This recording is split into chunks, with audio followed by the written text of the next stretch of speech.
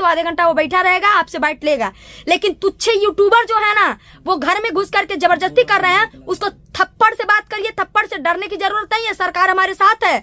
और प्रशासन से भी कॉल आया है मेरे पास कि आप किसी को बाइट मत दीजिए। गोरखपुरिया भौजी कौन होती है? गोरखपुरिया भौजी कहीं की सीएम है डीएम है, पीएम है, क्या है गोरखपुरिया भौजी कि मालती चौहान का बेटा गोरखपुरिया भौजी क्यों लेके गई? तो हम आपको बता दें दोस्तों, ये जो मैटर था गोरखपुरिया भौजी ये किया, गोरखपुरिया भौजी वो किया तो आप लोग सभी लोग जानते हैं कि गोरखपुरिया भौजी अपने मर्ज़ी से कोई काम नहीं करती हैं। गोरखपुरिया भौजी कोई भी काम करती हैं तो आप लोग से पूछ के ही करती हैं, आप लोग के बिना परमिशन से कोई काम नहीं करती हैं। आप लोगों ने बोला कि भाभी, आप मालती चौहान का मदद करो तो मैंने उसका मदद किया। आप लोगों ने बोला, दोबारा जब भी मैंने कोई भी कदम उठाया, आप लोग से पूछ पूछ के किया, आप लोगों ने कमेंट किया, कमेंट के द्वारा मैंने काम किया।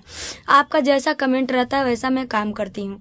दोस्तों कहने का मतलब ये है कि यहाँ पे सवाल आ रहा है ज़बरदस्ती मालती चौहान के दीदी जी से आ, कुछ मीडिया वाले पूछ रहे थे कि इसमें कहाँ तक सच्चाई है कि गोरखप्रिया भोजी का इसमें हाथ है मालती चौहान के मरने का जो कि वो साफ़ साफ़ बता रही हैं उनके चैनल पे।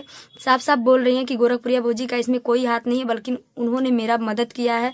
सवाल यहाँ पे दोस्तों ये भी खड़ा हो रहा है कि मालती चौहान जब मरी थी तो वहाँ पे गोरखप्रिया भोजी मृत जगह पर क्यों नहीं पहुँची? तो दोस्तों मैं आप लोगों को बता दूँ अपने घर से मैं छह बजे से निकली और जाते जाते दस बज गया। दोस्तों, दूरी का रास्ता है और आठ से नौ बजते बजते वहाँ से लाश निकल चुकी थी तो मुझे कॉल आया मौली थाने पर, आप आइए। तो मैं मौली थाने पर डायरेक्ट गई।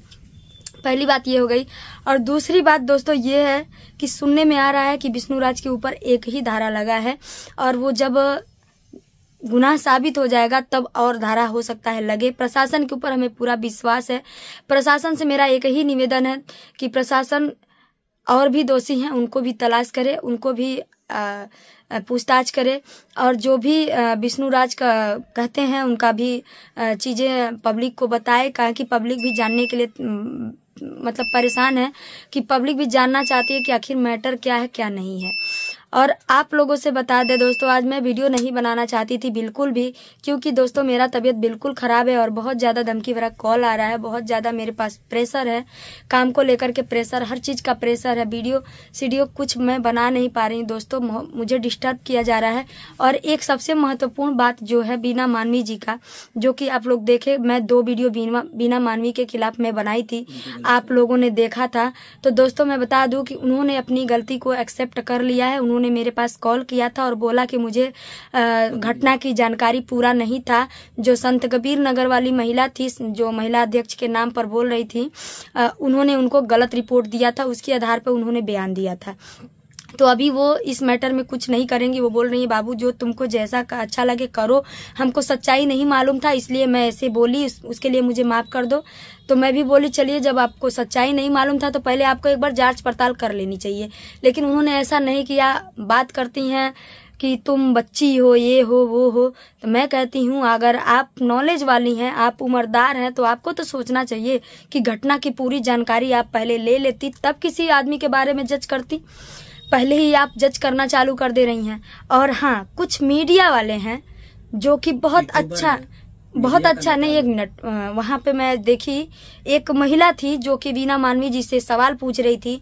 वही महिला थी जो वहाँ पे मालती चौहान का जब अंतिम संस्कार हो रहा था तो वहाँ पे वो बोल रही है भाभी प्लीज़ प्लीज़ भाभी प्लीज़ भाभी दो मिनट का बाइक दे दिए भाभी।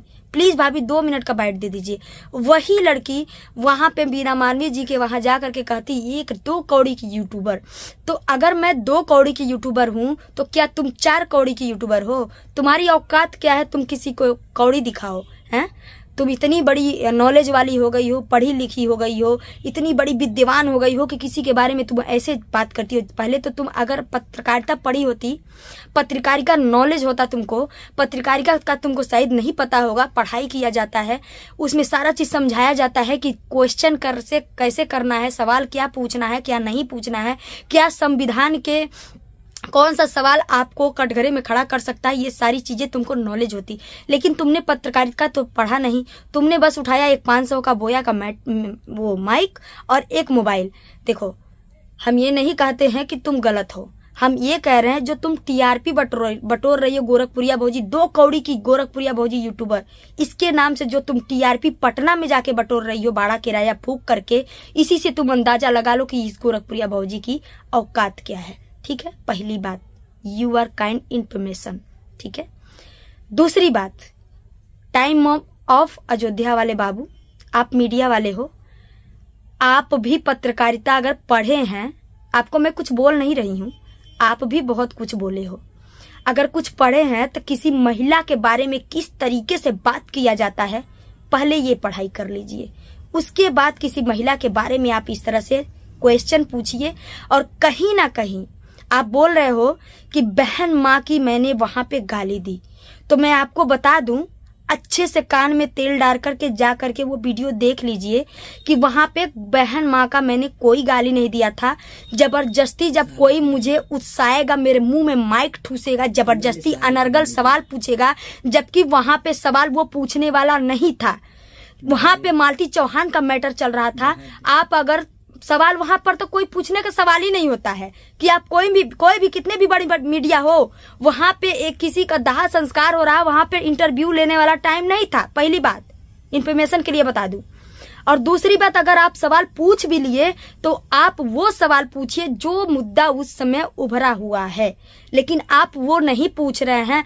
आपको तीन साल पहले वाली बात याद है कि मैंने अपने महादेव जी को क्यों भगाया था? पॉइंटेड नोटिस पॉइंट को नोटिस करिएगा और फिर इस पे गौर करिएगा कि आप गलती कहाँ किए हैं। आप, मैं मानती हूँ आप ज़्यादा पढ़े लिखे होंगे, ठीक है? मैं गवार हूँ, घास गढ़ने वाली, आपके सामने बोला गया ना? टाइम ऑफ़ अयोध्या वाले बाबू। आपके सामने बोला गया है कि मैं घास गढ़ने वाली हूँ, मैं बकरी चराने वाली हूँ, मैं जंगल से लकड़ियाँ चुनने वाली हूँ, चूल्हे पर खाना बनाने वाली हूँ। हाँ मैं एक्सेप्ट करती हूँ। मैं चूल्हे पे खाना बनाती हूँ। मैं अपना जीवन यापन चूल्हे पर खाना बना के करती हूँ, एक मिट्टी से उठी हूँ। एक झोपड़ी में रह करके आगे बढ़ी हूँ। ठीक है? तुम्हारे तरह एसी में बैठ के मैं बात नहीं करती हूँ। ये देखो मेरा घर देख लो। कभी आए नहीं हो मेरे घर? ठीक है?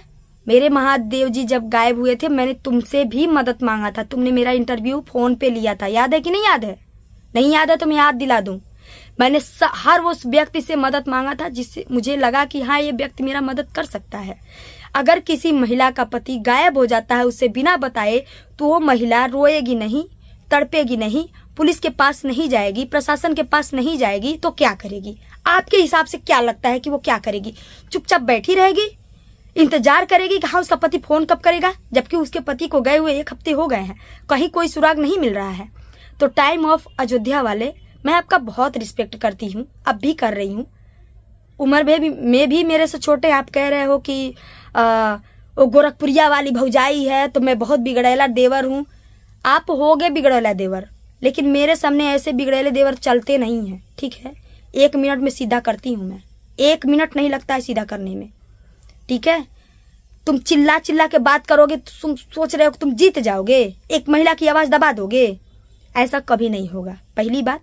और दूसरी बात यह है कि तुम लोग ही उत्साते हो दूसरों को कि उसके बारे में कैसी वो वार्तालाप करे। पहली बात, तुम बोल रहे हो कि इसमें बार बार बीना मानवी जी के मुँह में माइक ठूस करके तुम बोल रहे हो कि गोरखपुरिया भौजी ये, गोरखपुरिया भौजी वो, गोरखपुरिया भौजी वो, हम कह रहे हैं, तुम मेरे नाम से होते कौन हो? टीआरपी बटोरने वाले। बताओ तो मेरे मेरे से आए बाइट लेने, मेरे से पूछने आए कि सच्चाई क्या है? विष्णु राज के घर गए तुम सच्चाई पूछने। विष्णु राज के ससुर जी से तुम गए सच्चाई पूछने। पटना में जाके बिना मानवी जी से पूछ रहे हो जबकि उनको खुद बोल रही है कि मुझे इस बारे में कोई जानकारी नहीं थी मुझे गलत रिपोर्ट दिया गया था। पहली बात इस बात को एक्सेप्ट कर लेना।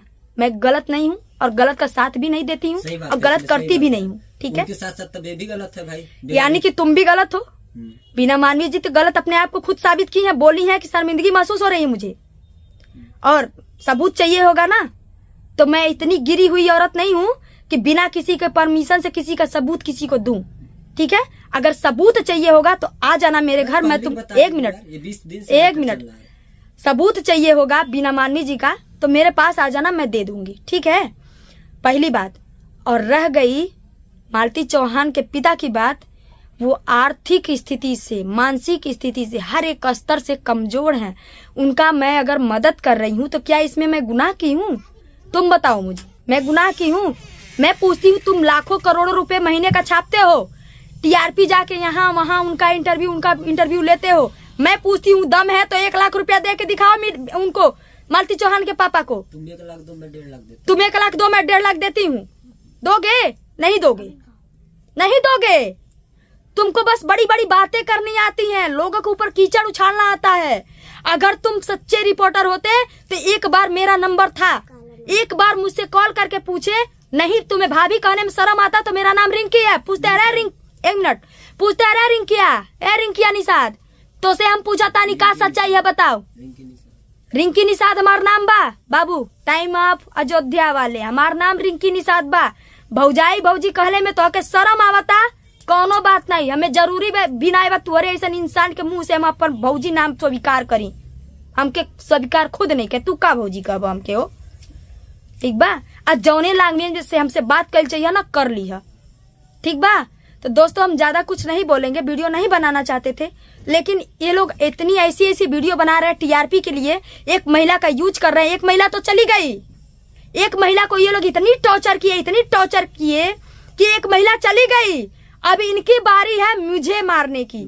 ये सारे लोग षडयंत्र रच रहे हैं कि षड्यंत्र रच रहे हैं कि गोरखपुरिया भौजी को मेंटली टॉर्चर किया जाए हेरेसमेंट किया जाए कि वो भी अपने आप को कुछ कर ले और इस दुनिया में अकेले ये लोग राज करें। तो ऐसा नहीं होगा। गोरखपुरिया भौजी इतनी कमज़ोर नहीं है कि अपने आप को कुछ करेगी। ठीक है? जब तक उसको खुद खुद किसी कोई कुछ करे ना। और दोस्तों आप लोग को बता दें मालती चौहान के मायके में जाकर के ज़बरदस्ती मीडिया वाले घर में घुस घुस कर रिपोर्टिंग कर रहे हैं। तो हम बता देते हैं, मेरे पास बार बार कॉल आ रहा है, अगर मालती चौहान के घर अगर हम चले गए ना, आज जो भी मीडिया वाले मिल गए ना तो थप्पड़ से बात करेंगे, ये समझ लीजिएगा। पहले तो आप मालती की सिस्टर जो शांति है, आपसे बता दें। पहले आप आईडी मांगिए, एक आईडी प्रूफ मांगिए, आधार कार्ड मांगिए आईडी मांगिए, ठीक है? और किसी पढ़े लिखे इंसान को दिखाइए कि क्या यह सच में मीडिया वाला है। तब उसको आप बाइट दीजिए और भी घर से बाहर, घर में घुसने का किसी का अधिकार नहीं है। पहले बता देते हैं। समय दीजिए उसको। बोल दीजिए आधे घंटे में हम बाइट देंगे तो आधे घंटा वो बैठा रहेगा, आपसे बाइट लेगा। लेकिन तुच्छे यूट्यूबर जो है ना, वो घर में घुस करके ज़बरदस्ती कर रहे हैं, उसको थप्पड़ से बात करिए, थप्पड़ से डरने की ज़रूरत नहीं है, सरकार हमारे साथ है। और प्रशासन से भी कॉल आया है मेरे पास कि आप किसी को बाइट मत दीजिए, पहले उसका आधार कार्ड लीजिए, उसकी निजी आईडी लीजिए, उसकी पत्रकारिता पत्रकारिता का आईडी लीजिए, फिर उसको बाइट दीजिए। ठीक है? और तुमको लग रहा होगा कि हम प्रधानमंत्री बन रहे हैं, बोल, बन रहे हैं तो ये तुम गलत बोल रहे हो, ठीक है? प्रधानमंत्री भी चाय बेच करके प्रधानमंत्री बन गया खेसारी लाल यादव भी लिट्टी चोखा बनाकर बनाकर बेच करके, भैंस चरा करके इतने बड़े सिंगर और गवैया बन गए हैं, इतने बड़े एक्टर बन गए। तुम एक गाँव वाली को समझे क्या हो? गाँव का महत्व तुम तुम एसी में बैठने वाले, कुर्सी पे बैठने वाले, तुमको क्या पता होगा ज़मीन का स्तर क्या होता है? तुम मिट्टी में रहते तब ना तुमको पता चलता कि ज़मीन का मतलब क्या होता है। सुनो, तुम एसी में पैदा हुए होगे, तुम्हारी एसी तुमको मुबारक। हम झोपड़ी में पैदा हुए, देखो मेरा झोपड़ी। हम झोपड़ी में पैदा हुए हैं, इसी झोपड़ी में चले जाएँगे। हमको यही हमारा स्वर्ग लगता है, संविधान लगता है। यही हमारा सब कुछ है। इस पे आँच आती है तो हम अपना जान भी लुटा देते हैं, ठीक है? तो बाबू, थोड़ा सा नॉलेज में रह करके काम किया करो। पत्रकारिता जा करके पढ़ लो कि क्वेश्चन किया क्या जाता है, ठीक है? उसके बाद किसी से सवाल जवाब करना।